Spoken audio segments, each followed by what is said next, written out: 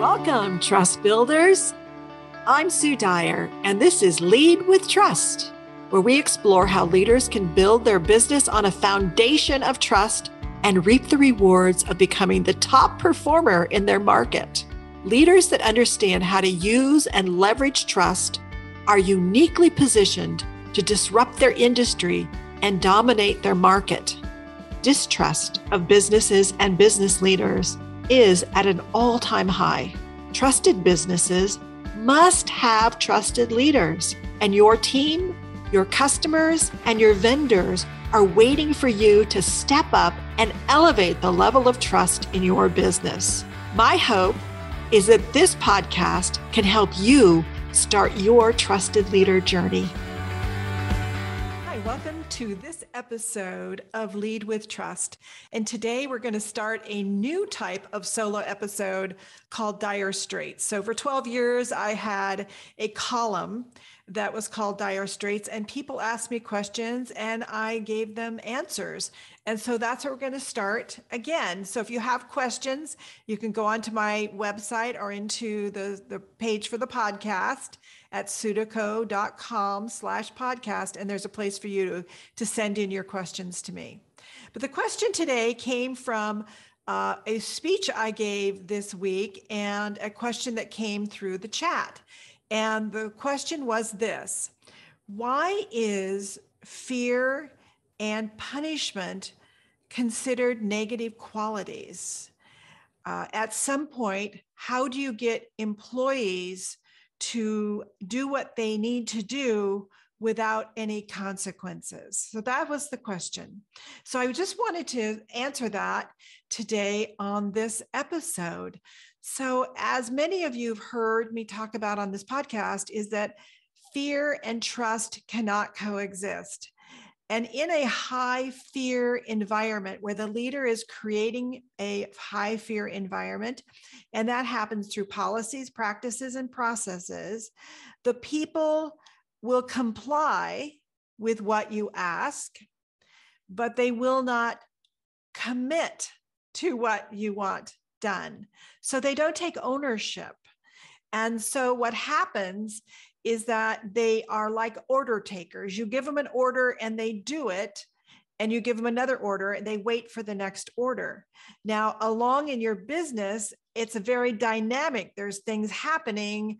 And so decisions need to be made, and you need to also communicate what are you seeing? What are the problems? What are the opportunities? And in a high fear culture, those things don't get communicated. In fact, communication becomes very, very stifled, and no one tells each other anything, uh, and certainly not the truth. So they just wait for a decision to be made, for them to be told what they need to do, and then they execute it. So without ownership, you're not really able to tap into the collective wisdom of your group. And as an owner, as a leader, you're not going to know what's going on in your business. They know, but they're not going to say. And we have seen this over and over and over in just dozens and dozens, if not hundreds, of different research projects that have been done on failed construction projects because they have very, very extensive forensic studies. And what we found is 100% of the time when a project failed, a business failed, an organization failed, it was not because the people themselves weren't smart weren't capable and didn't have a lot of abilities. It was because the process, the culture that had been created in this high fear culture did not foster the kind of communication, coordination, and co creation where people owned the problems and looked out for them and then tried to share what the solutions could be. And certainly, all the people in all those organizations where it failed they had solutions. They probably could have come up with 20 ways to solve it, and all of them would have worked. But not one of them ever stepped forward to actually offer a way to solve it. And they also don't communicate what's going on. They saw it coming. They know what it is. They see it. They're seasoned. They know what to do. But you create this atmosphere that just gets frozen and stuck, and they will not share and they will not tell you what's going on. And so you expend more resources, or you say, My people aren't doing what they need to do. They're not. So you make it more fear. You put more punishment, thinking that that will motivate them. And you just get more of the same and just gets intensified. So you really got to move more over into the trusted leader side where your job is to create a high trust environment where people are feeling comfortable, psychological comfort to be able to be open and share and take ownership and create solutions and then implement them. And you will be amazed at how creativity will emerge, innovation will emerge. And so, yes, I am saying that fear and punishment are self defeating in a business organization and probably also in a government organization. It can only last for so long until it implodes.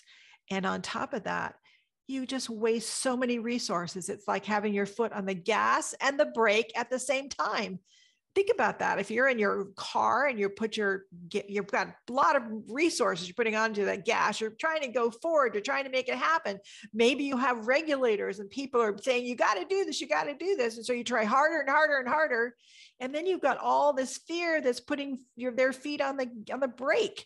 So well i'm not going to move forward. I'm i'm not going to set step out of my role. I'm not going to tell them what's going on. It's not my role not my place not going to do. I'm just going to comply. Then you are going nowhere. And the best you're spinning donuts. And maybe you are eventually going to go out of business because you can't compete with an organization who doesn't have their foot on the brake. So if you want to compete and you want to do well and you want to improve quality and you want to improve your results and create something extraordinary, you can't do it in a high fear culture. Just can't happen. It's an impossibility. So I hope this is helpful and I hope you will let me know what your thoughts are. Thanks so much for listening. Hey, I hope you enjoyed today's episode of Lead with Trust and that wherever you're listening to this podcast, you will subscribe. And if you enjoyed this episode, send it to someone who you think can really use this message that you got today. And also, please leave us a review. You know, your honest review wherever you listen to your podcasts would be much appreciated. And of course, the more reviews we get, the better they are, the better for the podcast. I'm truly on a mission to get more and more people to understand that trust is the essential element. So I hope you'll be part of that. You know, this show really exists to help you, leaders, to build your business on a foundation of trust so that you can reap the rewards of becoming that top performer in your market. I see over and over where no one can possibly reach the levels of those people that understand how to build a high trust culture in their business. Now, today, if you're really curious about starting your trusted leader journey, you can get started right away if you just take the free trusted leader profile and you can learn where you fall along the trusted leader continuum. And this really can unlock your confidence on where you are and what you need to do. It's very specific on what you can do gives you a snapshot of your leadership style. So if you want to take that, just go to www.sudyco, S-U-D-Y-C-O.com, and then forward slash profile, and you will get immediate access to the Trusted Leader Profile.